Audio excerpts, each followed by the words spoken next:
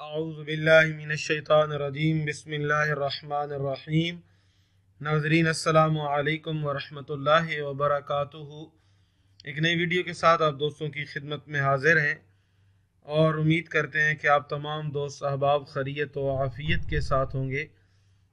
آج ایک بہت ہی بہترین اور پاورفل ویڈیو وظیفہ لے کر ہم آپ کی خدمت میں حاضر ہیں۔ انشاءاللہ تبارک و تعالی اللہ کے فضل و کرم سے مالک اپنا خصوصی رحم و کرم شامل حال فرمائے گا اور آپ کا جو بھی شعری حاجت، جائز حاجت ہوگی، نیک حاجت ہوگی، مراد ہوگی، اللہ کریم اس وظیفے کے صدقے ضرور پوری فرمائیں گے۔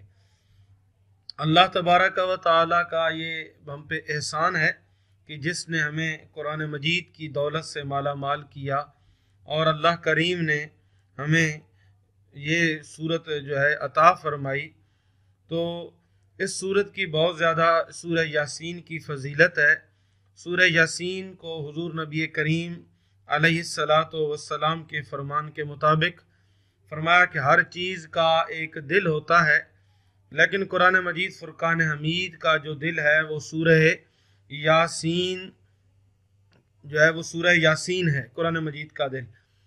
تو اس صورت کی اور بھی حدیث کے اندر بہت زیادہ فضیلت ہے، بہت زیادہ اس کا جو ہے ہماری زندگیوں کے ساتھ بہت زیادہ اثر و رسوخ ہے۔ جو انسان سورہ یاسین پڑھتا ہے، اللہ تبارک و تعالی اس کی نیک دلی مرادوں کو پورا فرماتے ہیں۔ سورہ یاسین کے متعلق حضور نبی کریم علیہ السلاۃ والسلام کا جو ارشاد گرامی ہے، وہ ہمارے سامنے موجود ہے۔ کہ اس صورت کو میرا ہر امتی جو ہے وہ یاد بھی کرے اور اس کی تلاوت بھی کرے، حدیث شریف کا مفہوم ہے۔ دنیا کی کوئی مشکل ہو، پریشانی ہو، رکاوٹ ہو، مسائل ہو زندگی کا کوئی نظام ہو جس کا ہماری زندگی کے ساتھ تعلق ہو، انسان خالق سے ہو یا مخلوق سے ہو، تو وہ اس صورت کے تلاوت کرے تو اور زیادہ اللہ کریم کرم فرماتے ہیں۔ یہ مشکلات ختم ہوتی ہیں، انسان کے اوپر اللہ کریم کا بہت انعام ہوتا ہے۔ سورہ یاسین کے متعلق یہ بھی آتا ہے کہ جو شخص اللہ تعالیٰ کی خوشنودی کے لیے سورہ یاسین پڑھتا ہے، تو اللہ تعالیٰ اسے بارہ قرآن کریم ختم کرنے کا ثواب عطا فرماتے ہیں۔ جب یہ صورت کسی مریض کے پاس پڑھی جائے، تو اس کے ہر حرف کے بدلے دس فرشتے اس کے سامنے صف بستہ ہو کر اس کے لیے مغفرت طلب کرتے ہیں۔ اور اس کی قبض روح جب کرتے ہیں، وقت حاضر ہوتے ہیں اور اس کے جنازے کے ساتھ چلتے ہیں، اس پر نماز پڑھتے ہیں اور اس کے دفن میں شریک ہوتے ہیں۔ تو سورہ یاسین کے اندر مبین لفظ جو ہے، وہ سات جگہ پہ آیا ہے۔ تو اس سات مبین کا جو وظیفہ ہے، جسے سب سرداروں کا وظیفہ کہا جاتا ہے، تو اس کے متعلق ایک بہت ہی اہمیت ہے اس وظیفے کی۔ یہ سب وظیفوں کا ایسے تاج بھی کہا جاتا ہے، سرتاج بھی کہا جاتا ہے۔ تو دوستو، آپ نے یہ وظیفہ کرنا ہے۔ انشاءاللہ اللہ تبارک و تعالی اللہ کا کرم ہوگا۔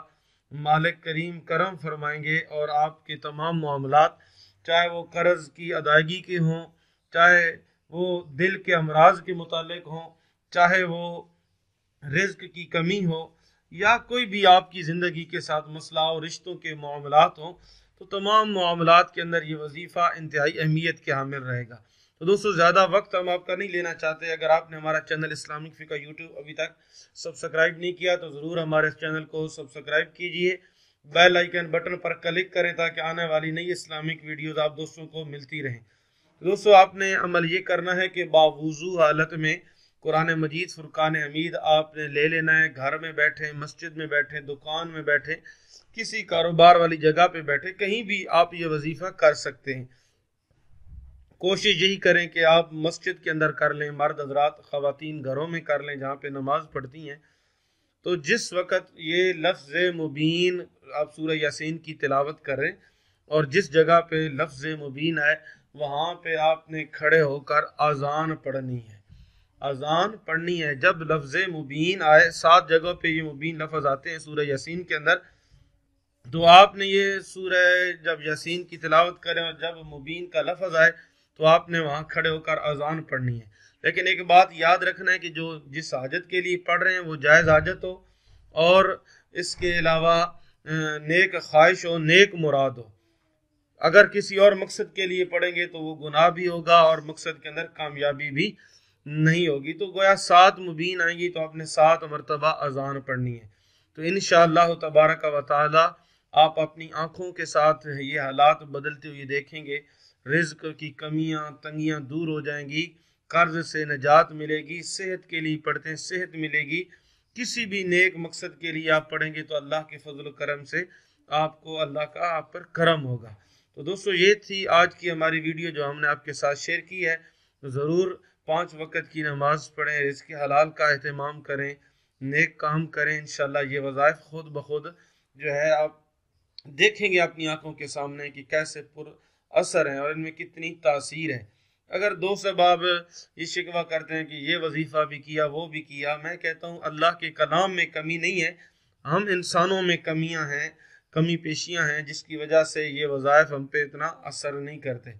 لیکن آپ یہ جو عمل کریں گے، یہ عمل دونوں جہانوں کے لیے فائدہ مند ہے۔ ثواب بھی ملے گا اور اللہ کریم دنیاوی، آخرت والی حاجات بھی پوری فرمائیں گے۔ تو دوستو، اس کے ساتھ ساتھ لازمی پانچ وقت کی نماز پڑھیں، اپنے والدین کے ساتھ اچھا سلوک کریں، اسلام کے مطابق زندگیاں گزاریں۔ حضور نبی کریم علیہ السلاۃ والسلام کی سنت طیبہ کے مطابق زندگیاں گزاریں تو مالک کریم بہت زیادہ آپ پہ کرم فرمائیں گے۔ تو ہمیں بھی اپنی نیک مخلصانہ دعاؤں میں، التجاؤں میں یاد رکھیے گا۔ اللہ آپ تمام دوستوں کا، اسلامی ماؤں بہنوں، بیٹیوں کا حامی و ناصر ہو اور اللہ کریم عالم اسلام کی خیر فرمائے اور جہاں جہاں مسلمان بس رہے ہیں، اللہ کریم سب کے اوپر اپنا خصوصی رحم و کرم نازل فرمائے۔ اپنی دعاؤں میں یاد رکھیے گا۔ السلام علیکم ورحمۃ اللہ وبرکاتہ۔